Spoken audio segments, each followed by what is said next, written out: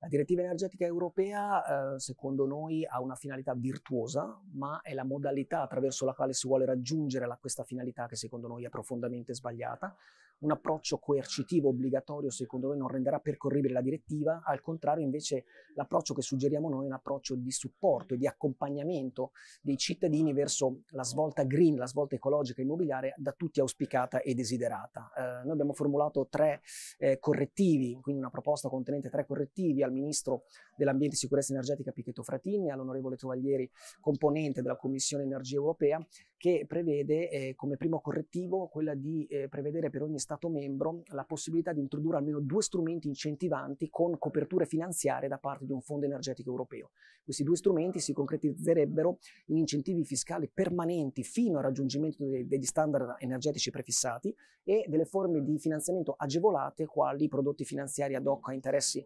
particolarmente eh, agevolati appunto e garanzie dello Stato ehm, a supporto di questo tipo di interventi. Il secondo correttivo consisterebbe nella possibilità di attuare un sistema di esenzione di deroghe più ampio in relazione alle specificità di ogni singolo Stato membro perché il patrimonio immobiliare della Svezia non è uguale a quello della Germania, non è uguale a quello dell'Italia. Il terzo correttivo consisterebbe nella possibilità di prevedere una gradualità percorribile, ovvero la possibilità di ogni Stato membro di introdurre delle soglie di attenuazione eh, nel percorso nazionale di efficientamento energetico immobiliare e un allentamento dei limiti temporali. Secondo noi questi tre correttivi determinerebbero appunto il raggiungimento di questa finalità virtuosa appunto della transizione ecologica immobiliare.